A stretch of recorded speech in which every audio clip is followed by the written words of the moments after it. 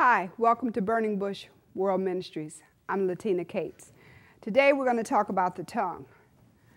Father God, I ask in the name of Jesus that you would give me the words, the wisdom to speak all that you would want me to say to your people, Lord God, and let this word fall on good ground, Lord God.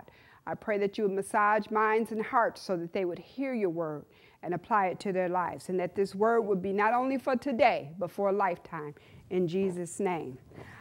I declare and I decree that every demonic spirit under the sound of my voice, you will submit to God's authority and to mine. As an ambassador of God, I command that you submit to the authority of God in mine in Jesus' name. Again, people, we're going to talk about the tongue today. Um, I was walking, uh, I want to say I was at work when I heard the Lord tell me to speak on the tongue. And so um, this message is from the Lord. Um, I'm going to start with Proverbs 18 and 21. And it reads as follows Death and life are in the power of the tongue, and they that love it shall eat the fruit thereof. Death and life is in your tongue. Now, your tongue can be used to exalt people, to build people up, to encourage them, to refresh them, to strengthen people, to comfort them. Your words can be like honey, they can be sweet and soothing. Or you can use your tongue to destroy, and that's the death. The, uh, it, it, can be like, like sour lemons or uh, words that tear people down, discourage people, um, disgrace people, disgust people. And that's basically cursing people. So your words can either be good or bad. They can be life or they're death. It just up, it's up to you. When I was a young child, there was a riddle going around, and it went something like this Sticks and stones may break my bones, but names will never hurt me. And people, that's a tale. That's, that's not true, because names do hurt. Some names do hurt. It depends on who they're coming from. But if it's from a loved one and it's something that you don't agree with, it hurts. It tears things down. It's destructive. Words can start a war. Husbands and wives, you know this. A lot of people, you know this.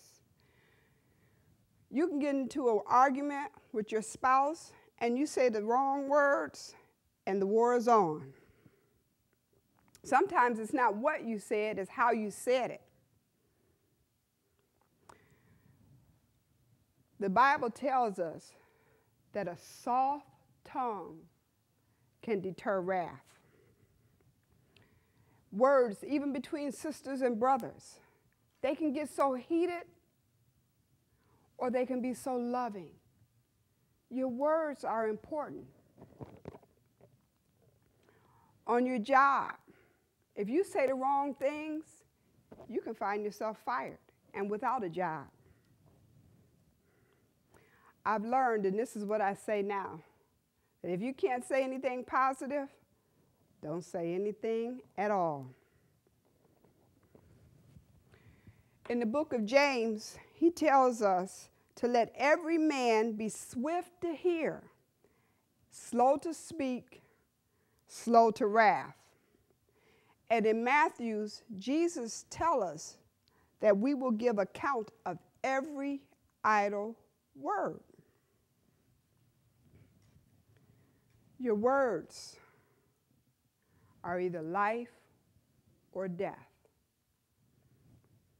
Turn with me over to Proverbs 6 16. I want to show you something.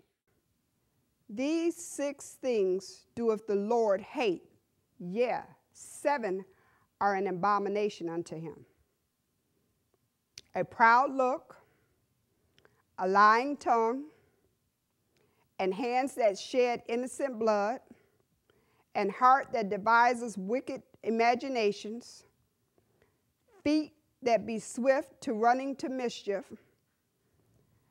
a false witness that speaketh lies, and he that soweth discord among brethren.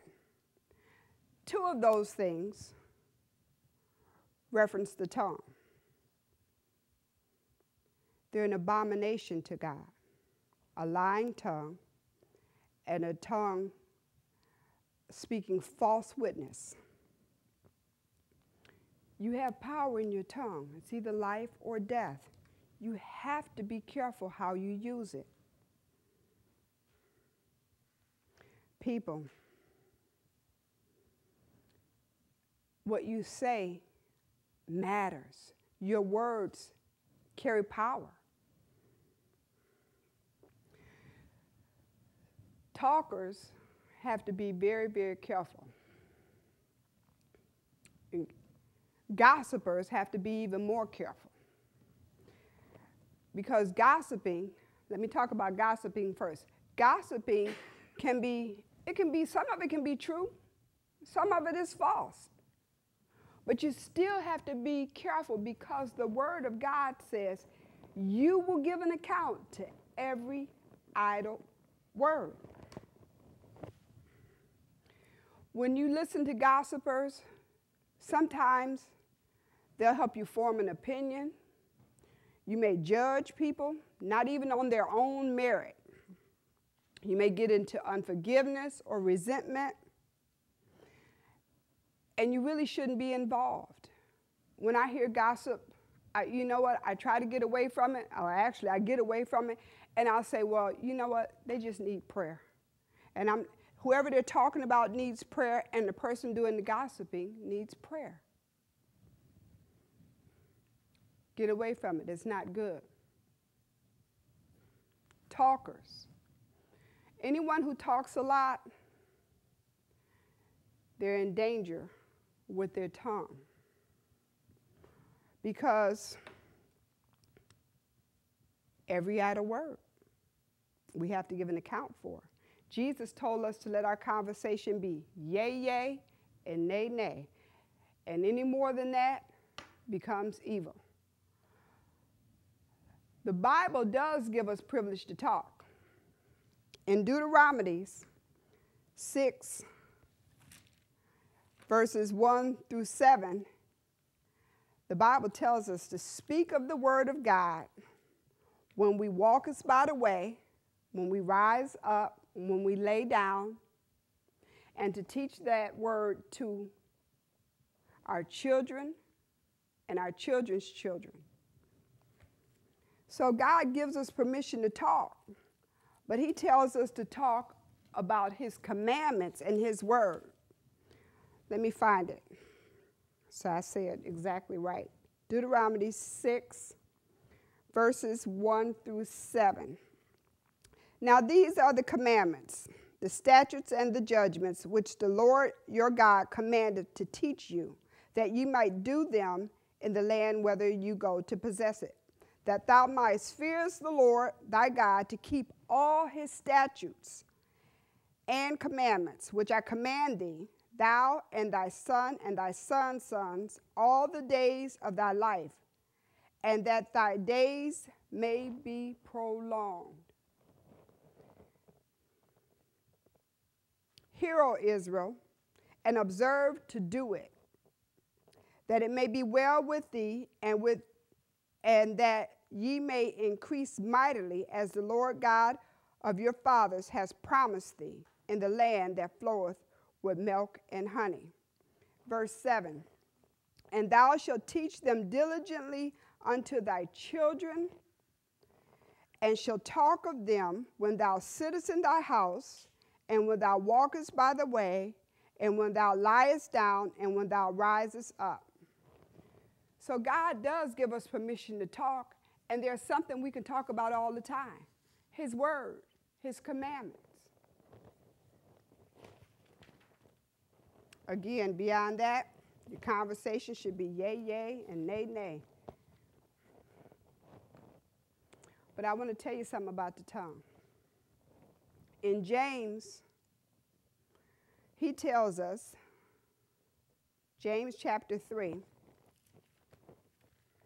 because this tongue is, is it's really a powerful weapon. He says, James chapter 3, verse 3, I'm sorry, chapter 3, verse 8 through 10. But the tongue can no man tame. It is an unruly evil, full of deadly poison. Therewith bless we God, even the Father, and therewith curse we men, which is made after the similitude of God. Out of the same mouth proceedeth blessings and cursings. My brethren, these things ought not so to be. It takes God to control your tongue. It takes God for you to have control over your mouth. When you have control over your mouth, it, it indicates a level of spiritual maturity. I, I tell people when I counsel them one way, one way to pretty much know if you're saved, if you, if you got this salvation piece in, in order, is to get into an argument with your spouse. When you get in, not, I'm not suggesting that you get into an argument with your spouse, but when you get into an argument with your spouse, if you can control your tongue, you're doing pretty good.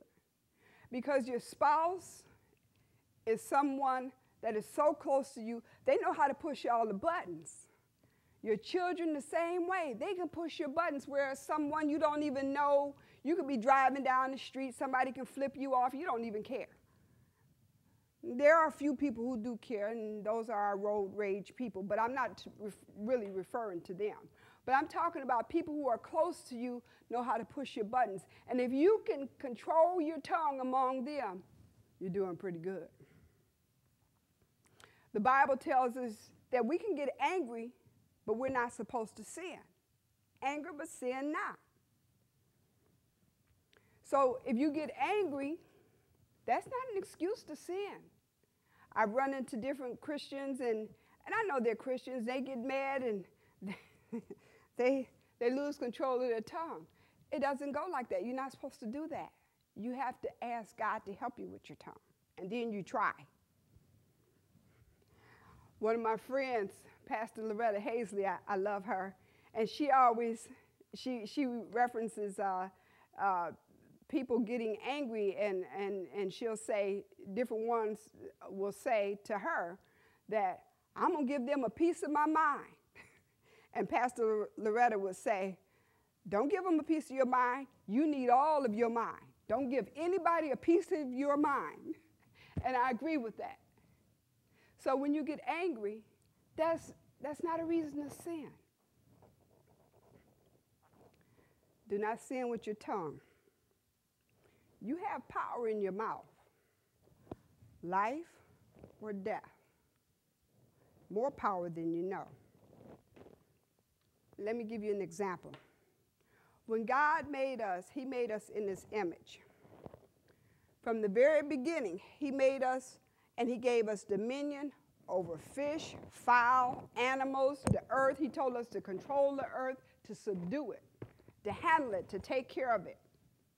He gave us the ability to be independent thinkers. He didn't do that for any other animal. Uh, uh, there are a few animals that we can teach. We teach how to do different things.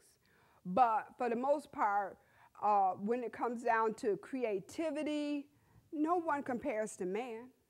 No one can, no other species can uh, make cars. No other species make clothes. No other species um, uh, build, build brick houses. Um, no other species can uh, speak various languages. And that's what God did with, he, uh, with us. He made us in His image, and He made us His masterpiece. We're marvelously made and wonderfully made we have his DNA. He gave us his creativity. He gave us his spirit. And in doing that, He gave us the ability to even create with our mouths. Just like in Genesis, when God said, Let there be light, everything God said, He saw. And I tell you, Christians, you have power in your mouth. When you speak, things manifest. Jesus said that we are little gods, gods with a little g. It's also uh, stated in Psalms 82 and 6. It says, I have said, ye are gods. God made us little gods, like Him. So that same ability to speak things into existence is in us. Life and death is in the power of the tongue. In the Old Testament, we see manifestation of power in the tongue in a lot of ways. First, with Isaac. Isaac prophesied to his sons Esau and Jacob. He prophesied their futures. Jacob, who is later named Israel, he prophesied the futures of all of his 12 sons. And then we get to Moses. Now, you guys know about Moses. Moses led the Hebrew children out of Egypt, and he used a rod to perform most of the miracles. And there was a time when God told Moses to speak to the rock. And you guys probably know the story. He got upset and he hit the rock. But the Lord told him to speak to the rock, to use his voice, and the, wa- the rock would bring forth water. Later on, as we move down in the scriptures, we see Joshua, uh, general of the army, running around conquering land, chasing the enemies, and he was uh, up against the uh, the uh, Amorites, and it was getting near the end of day, and he spoke to the sun and to the moon and told them to be still, so that he could conquer his enemies. And God heard him and he made the sun and the moon be still. You have power in your tongue. You have power and authority in your tongue. Jesus, he told us to speak to the mountain. Whatever the issue was, he told us to speak to it. He says, if you believe that you can do this. You can speak to the mountain and it will obey. He said that two times. He said it in Matthew 17 20, and he said it in Matthew 21 21. When Jesus says anything, is real, it's true. And when he says it twice, you know it's very, very important. You have power in your tongue, you have power in your mouth. Everything that God said, he saw. Everything he said, he saw. We have that same power. God calleth those things that be not as though they were. And he gave us the same power. You're more powerful than what you think. You're more powerful than what you know. The devil doesn't want you to realize how powerful you are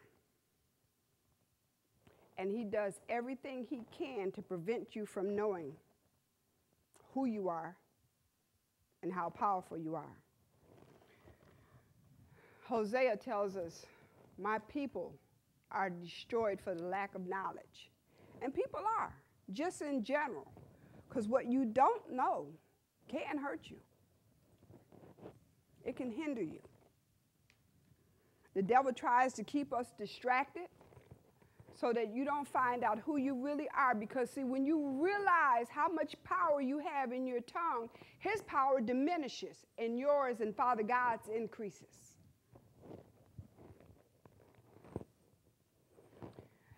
Satan doesn't mind keeping us busy on everything except for the Word of God. That's his goal, is to keep us distracted, keep us doing anything but speaking the Word of God. You could talk about John Doe, Jane Doe, and everybody else, but just don't talk about the Word. And the Word is the only thing we're supposed to be talking about all the time. You can speak negatively about yourself, and the devil don't mind. And those of you who have a prophetic mantle on your life, you'll say things about yourself, negative things about yourself, and things just keep getting worse and keep getting worse and keep getting worse. Why? Because your words are living vessels. And what you say, you will see. When you have a prophetic mantle on your life, things materialize a lot faster. Now, if you don't have a prophetic mantle on your life, just because you're God's creation and you're made in His image, you still will see what you say. So you still have to be careful with what you say. Some of us, we were ordained prophets, like Jeremiah from the womb. God told Jeremiah, Before I formed you in the womb, I knew you and I ordained you to be a prophet. And some of us have those gifts at birth, others, we get them after we become saved. You need to know who you are. You need to understand how powerful you are. You have power in your mouth power to speak life or power to speak death. Some of you have children, and all you've said was negative things about those children, and then you wonder why they turn out the way they do. You've prophesied it. You have to stop saying what you see. You have to say what you want to see. Stop saying what you have and say what you want. Call those things that be not as though they were. Say good things about your kids. Say good things about your job. Say what you want to see. Say what God says about you that He's made you the head and not the tail, above only and not beneath. Say what God says about you. Speak positive things into your future. You'll change the atmosphere. You have power in your mouth. You have power in your mouth. Life and death is in the power of the tongue. And they that love it shall eat the fruit thereof. Whether that fruit is life or whether that fruit is death, it's still coming. It's coming. Learn to have what you say versus saying what you have. Learn to have what you say versus saying what you have. So if your situation is negative, don't keep voicing that. Don't keep speaking to that. Don't keep giving that, that thing life because your words give it life. No, you got to turn it around, saying what you want to have. Call those things that be not as though they were. People, those of you who have sickness in your body, if you have sickness in your body, you can't, I suggest that you don't say, I have this or I have that. You have to reframe your words, change your confession. The doctor said, da da da da da. The doctor said, don't claim it, don't claim it, it'll manifest. You're helping it to manifest when you claim it. You have to watch what you say. God has given each and every one of us a measure of faith. And our words are containers that hold that faith. You speak positive things to your situations because God is in you, Christ is in you. You have God's DNA. Know ye not that you're the temple of the Holy Ghost, the Most High God? He dwells in you. You have power in your mouth. Life and death. Speak life. Speak life. Now, this is a two part message. So, what I like to do is end right here, but join me next week for part two.